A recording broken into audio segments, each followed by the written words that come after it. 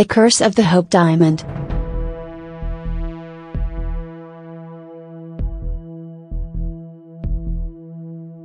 According to the legend, a curse befell the large, blue diamond when it was plucked, that is stolen, from an idol in India, a curse that foretold bad luck and death not only for the owner of the diamond but for all who touched it.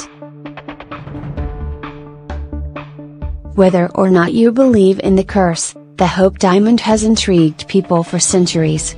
Its perfect quality, its large size, and its rare color make it strikingly unique and beautiful. Add to this a varied history which includes being owned by King Louis XIV, stolen during the French Revolution, sold to earn money for gambling, worn to raise money for charity, and then finally donated to the Smithsonian Institution. The Hope Diamond is truly unique.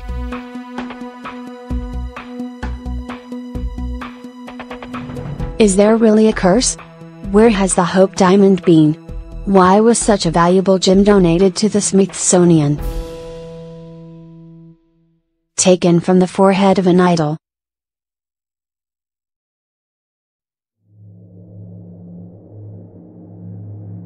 Several centuries ago, a man named Tavernier made a trip to India. While there, he stole a large blue diamond from the forehead, or eye, of a statue of the Hindu goddess Sita.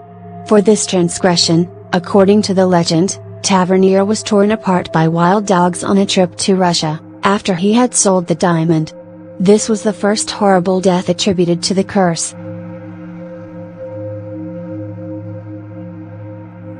How much of this is true? In 1642 a man by the name of Jean-Baptiste Tavernier, a French jeweler who traveled extensively, visited India and bought a 112 and 3 16 carat blue diamond. This diamond was much larger than the present weight of the Hope diamond because the Hope has been cut down at least twice in the past three centuries. The diamond is believed to have come from the Kollur mine in Golconda, India.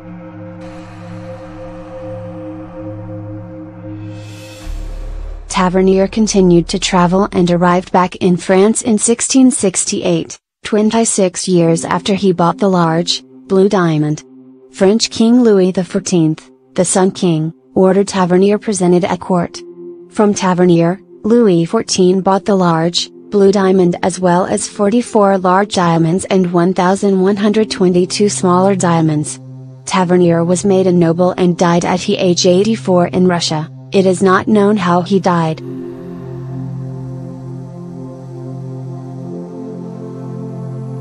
According to Suzanne Patch, author of Blue Mystery, the story of the Hope Diamond, the shape of the diamond was unlikely to have been an eye, or on the forehead, of an idol. In 1673, King Louis XIV decided to recut the diamond to enhance its brilliance, the previous cut had been to enhance size and not brilliance. The newly cut gem was 67 and 1 8 carats. Louis XIV officially named it the blue diamond of the crown and would often wear the diamond on a long ribbon around his neck. In 1749, Louis' Iv's great-grandson, Louis XV, was king and ordered the crown jeweler to make a decoration for the Order of the Golden Fleece, using the blue diamond and the Cotes Britanniques, a large red spinel thought at the time to be a ruby. 3. The resulting decoration was extremely ornate and large. Stolen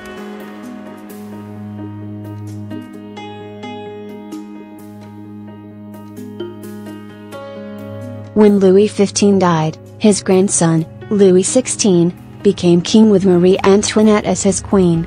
According to the legend, Marie Antoinette and Louis XVI were beheaded during the French Revolution because of the blue diamond's curse. Considering that King Louis XIV and King Louis XV had both owned and worn the blue diamond a number of times and have not been set down in legend as tormented by the curse, it is difficult to say that all those who owned or touched the gem would suffer an ill fate. Though it is true that Marie Antoinette and Louis XVI were beheaded, it seems that it had much more to do with their extravagance and the French Revolution than a curse on the diamond. Plus, these two royals were certainly not the only ones beheaded during the Reign of Terror.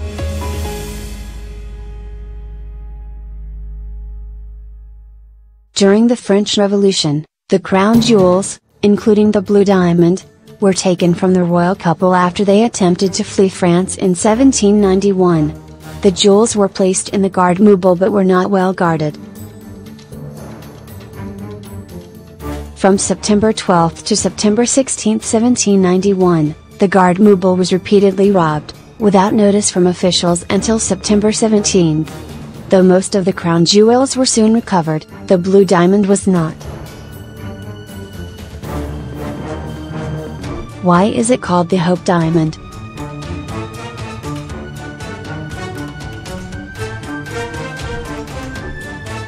There is some evidence that the blue diamond resurfaced in London by 1813 and was owned by a jeweler Daniel Eliasson by 1823.4 No one is sure that the blue diamond in London was the same one stolen from the garde meuble because the one in London was of a different cut.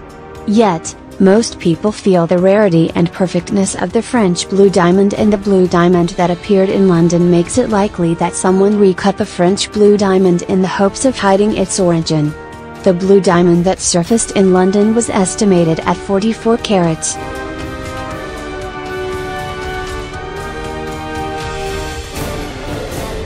There is some evidence that shows King George IV of England bought the blue diamond from Daniel Eliasson and upon King George's death, the diamond was sold to pay off debts. By 1939, possibly earlier, the blue diamond was in the possession of Henry Philip Hope, from whom the Hope diamond has taken its name. The Hope family is said to have been tainted with the diamond's curse. According to the legend, the once rich Hopes went bankrupt because of the Hope Diamond. Is this true? Henry Philip Hope was one of the heirs of the banking firm Hope and Company which was sold in 1813. Henry Philip Hope became a collector of fine art and gems, thus he acquired a large blue diamond that was soon to carry his family's name. Since he had never married, Henry Philip Hope left his estate to his three nephews when he died in 1839. The Hope Diamond went to the oldest of the nephews, Henry Thomas Hope.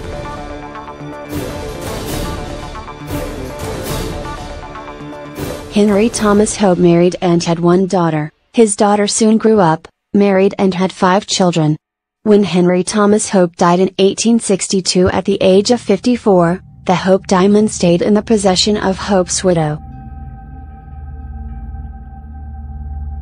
But when Henry Thomas Hope's widow died, she passed the Hope Diamond on to her grandson, the second oldest son, Lord Francis Hope, he took the name Hope in 1887. Because of gambling and high spending, Francis Hope requested from the court in 1898 for him to sell the Hope Diamond, Francis was only given access to the life interest on his grandmother's estate. His request was denied. In 1899, an appeal case was heard and again his request was denied. In both cases, Francis Hope's siblings opposed selling the diamond. In 1901, on an appeal to the House of Lords, Francis Hope was finally granted permission to sell the diamond.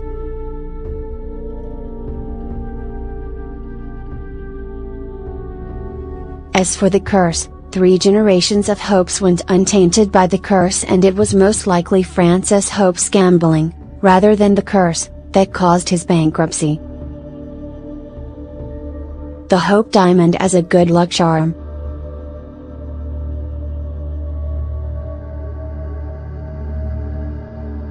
It was Simon Frankel, an American jeweler, who bought the Hope Diamond in 1901 and who brought the diamond to the United States. The diamond changed hands several times during the next several of years, ending with Pierre Cartier. Pierre Cartier believed he had found a buyer in the rich Evelyn Walsh McLean. Evelyn first saw the Hope Diamond in 1910 while visiting Paris with her husband. Since Mrs. McLean had previously told Pierre Cartier that objects usually considered bad luck turned into good luck for her, Cartier made sure to emphasize the Hope Diamond's negative history. Yet, since Mrs. McLean did not like the diamond in its current mounting, she didn't buy it.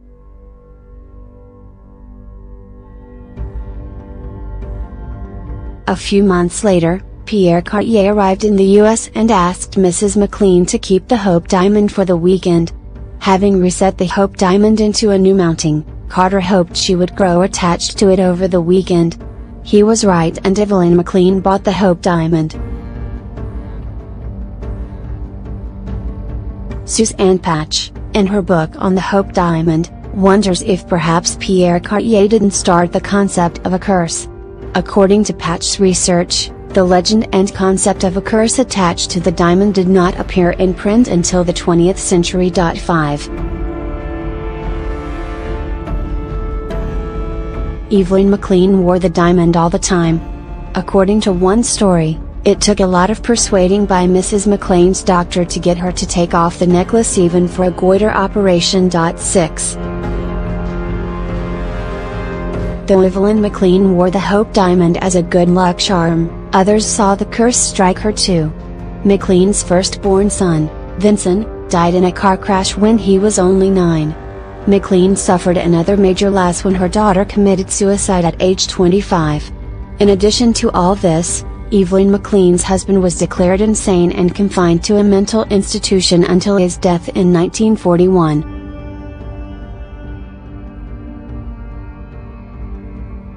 Whether this was part of a curse is hard to say, though it does seem like a lot for one person to suffer. Though Evelyn McLean had wanted her jewelry to go to her grandchildren when they were older, her jewelry was put on sale in 1949, two years after her death, in order to settle debts from her estate.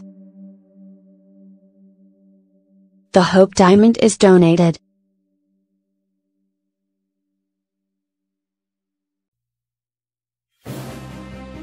When the Hope Diamond went on sale in 1949, it was bought by Harry Winston, a New York jeweler. Winston offered the diamond, on numerous occasions, to be worn at balls to raise money for charity. Though some believe that Winston donated the Hope Diamond to rid himself of the curse, Winston donated the diamond because he had long believed in creating a national jewel collection.